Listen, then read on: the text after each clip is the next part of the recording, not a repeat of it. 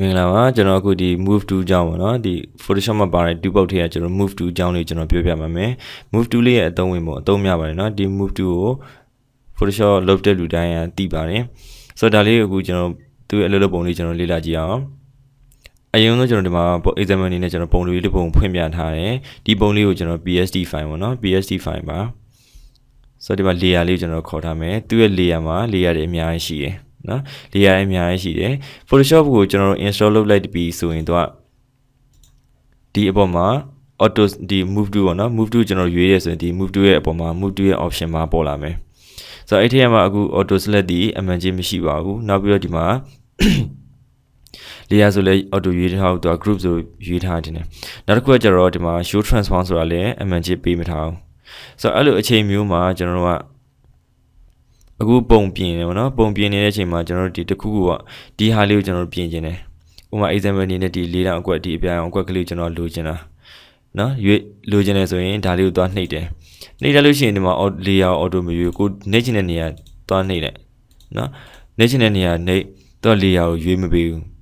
အဲ့ဒါဆိုရင်ကျွန်တော်တို့ကဥမာဒီပုံလေးကိုပြင်ကျင်တယ်ဒီ layer ကိုပြင်ကျင်တယ်နော်ကျွန်တော်တို့ဒီမှာသွားနှိပ်လိုက်တော့ဒီမှာသူ့ရဲ့ဒီမှာ layer မှာရွေးထားတဲ့ layer ပဲအဲ့လိုလိုမှာ အဲ့လိုလေးအဲ့တော့ပြောချင်တာကဒီတူရဲ့ option ပေါ့နော် option ကိုအသုံးချရမှာဆိုတော့ဒါလေးကိုဒီမှာ auto select လေးကျွန်တော်တို့ရွေးထားမယ်ပြီး auto select မှာကျွန်တော်တို့ layer ရွေးမယ် show transform ကကျွန်တော်ထည့်လေးရတယ်မထည့်လေးရ show transform ထည့်လို့ရှိရင်တော့ဒီမှာဒီလိုဖောင်လေးတက်လာမယ်ပေါ့အဲ့တော့ဒီလို auto select မှာကျွန်တော် MNG ပေးပြီးတော့ layer ရွေးထားခဲ့တယ်ဆိုရင်ဒီ layer လေးကိုကျွန်တော်ရွေးချင်တယ်ဆိုဒီ layer လေးကိုတွားနှိပ်လိုက်ရင်ဒီမှာ layer လေး auto ရွေးသွားတယ်အဲ့တော့ဒီ layer ဘယ်မှာရှိလဲဒီ layer ဘယ်မှာရှိလဲ ဒါကဘယ်လေးရလဲဒါကဘယ်လေးရလဲနှိပ်လိုက်တယ်ဒီမှာသူ့ကို layer ကို auto select လုပ်ပေးတယ်အဲ့တော့ကျွန်တော်တို့ကဒါကိုရွှေ့ကျင်တယ်ဆိုဒီမှာသွားနှိပ်ယူမယ်အဲ့တော့ခေါင်းစားစရာမလိုဘူးเนาะဆိုတော့အကယ်၍ဒီ auto select ဆိုတဲ့နေရာအမှန်ချင်းမရှိဘူးဆိုရင်ဒီဟာကိုကျွန်တော်လိုချင်တယ်ဟိုမှာဒါလေးကိုကျွန်တော်လိုချင်တယ်ဒါလေးကိုကျွန်တော်လိုချင်တယ်ဘယ်လေးရမှရှိမှမသိဘူးကိုကတစ်ခုချင်းစီကိုလိုက်ပြီးတော့ဒီလိုမျက်လုံးလေးတွေဖွင့်လိုက်ပေးတယ်လို့ကြည့်ရတယ်။အော်ဒါတော့ဖြင့်ဒီလေးရဒါတော့ဖြင့်ဒီလေးရအဲ့ဒါမှကျွန်တော်တို့သိမှာအဲ့ဒါဆိုရင်ဒီလေးရကိုရွေးဒါဒီလေးရဆိုဒါကိုရွေး အဲ့လိုမျိုးမဖြစ်အောင်ကျွန်တော်တို့ဒီမှာ auto select ကိုပေးထားလို့ရတယ် layer ကိုရွေးထားခဲ့မယ်အဲ့ဒါဆိုရင်ကျွန်တော်တို့ကတက်ဆိုင်ရာ layer ကိုကျွန်တော်တို့အလွယ်တကူရှာဖွေလို့ရတယ်နော်အဲ့ဒါ move to ရဲ့ဒီ option မှာမှာပါဝင်တဲ့အသုံးဝင်တဲ့ဟာတခုပေါ့နော်နောက်တစ်ခုကဒီ move to ကိုကျွန်တော်တို့ဘယ်နေရာမျိုးတွေမှာသုံးလဲဆိုရင်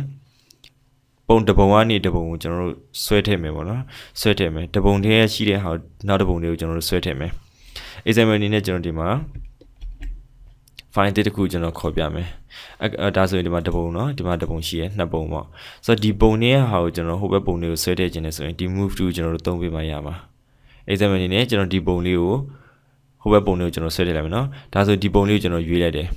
ရွေးတယ်ဆိုတော့ဒီမှာ auto select layer လေးအမှန်ကြီးပေးထားဖြစ်တဲ့အတွက်ဒီ layer ကိုသူ auto ရွေးပေးတယ်ဆိုတော့ဒါလေးကိုကျွန်တော်နှိပ်ပြီးတော့မှဒီဘက်ပုံပေါ်များလာတင်လိုက်အဲဆိုရင်ဒီဘက်ပုံလေးကပေါ်လာလိမ့်မယ် ဒီဘက်ပုံလေးပေါ်လာပြီဆိုရင် mouse ကိုဒီအောက်ကိုဆွဲချလာခဲ့ပြီးတော့မှမြားရဲ့နောက်မှာအပေါင်းလေးပါလာပြီဆိုရင် mouse ကိုလွတ်ပစ်လိုက်ရုံပဲအဲ့တော့ကျွန်တော် mouse ကိုလွတ်ပစ်လိုက်ရဆိုရင်ခုနကကျွန်တော်ဆွဲလာခဲ့တဲ့ပုံကဒီတင်ကဒီထဲကိုရောက်လာလိမ့်မယ်အဲ့တော့ဒီထဲမှာလည်း layer တစ်ခုတိုးလာလိမ့်မယ်အဲ့တော့ပြောချင်တာကဒီ move to ဆိုတာကတစ်ခုတည်းကနေတစ်ခုကျွန်တော်ဆွဲထည့်မယ်နော်အဲ့လိုမျိုးရွှေ့တံပြူတာလုပ်ချင်တယ်တခုခုရွှေ့တံပြူတာလုပ်ချင်တယ်ဆိုရင်သုံးရတယ်တူတစ်ခုပါအဲ့တော့ဒီ အဲ့ move to လေးကျွန်တော်တို့သုံးဖို့တော့ကအပေါ်မှာသူ့ရဲ့ option လေးတွေကျွန်တော်လိုအပ်တယ်လို့ခုနပြောခဲ့လို့ပေါ့နော်အဲ့လိုပြင်ပေးရတယ်ဒါဆိုရင်ဒီ move to အကြောင်းကိုနားလည်မလို့ထင်တယ်ကျေးဇူးပါ